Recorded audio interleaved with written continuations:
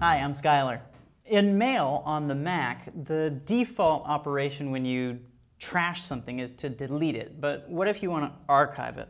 Well, let's check this out. So say I'm in my inbox and I want to take this message here about my PayPal statement, you know, whatever.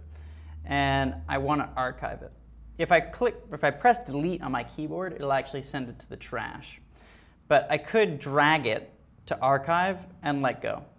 And it's been archived. Now, there's another way to do this that's a little bit simpler in my opinion. So, go to View and then click Customize Toolbar. Under Customize Toolbar, you see a whole lot of different options, and one of them is Archive. So if I click it and drag it, I can put it right up here by the trash symbol, the thumbs down, that's the junk symbol. Okay, so now click Done, and I highlight something, and then click the little button. That's it, archived. So that is the easiest way to archive a message on the Mac. Thanks for watching. I'm Skylar.